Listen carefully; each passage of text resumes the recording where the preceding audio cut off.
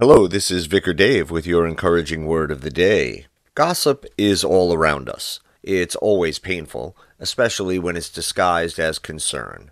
A request to pray for someone because of something they did is not asking for prayer, it's gossiping.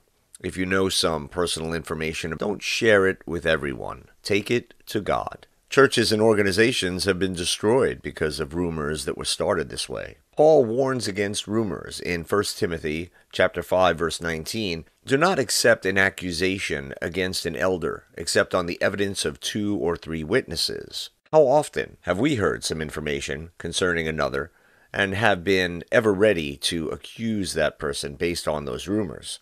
Hearing gossip may make it feel that these statements are true, but they are often only circumstantial. Even when Paul is cautious in his writing, he has no tolerance for leaders who sin repeatedly. Paul writes, Reprove those who sin in the presence of all, in order that the rest also may experience fear. This fear that Paul is referring to is a good kind because it keeps people from sinning.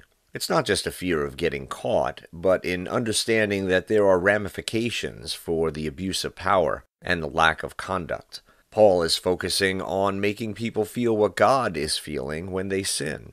These people shouldn't be consumed with guilt, but they should feel ashamed and realize they need grace. Paul's entire thought process here is based on the assumption that leaders be godly people. He states that leaders who fall short should be held accountable for their actions. Above all, Paul says that leaders should be chosen wisely. Let's pray. Dear Lord, help us all to establish and support a strong leadership in our church and faith communities. Amen. May God's love and mercy lift your hearts and give you peace.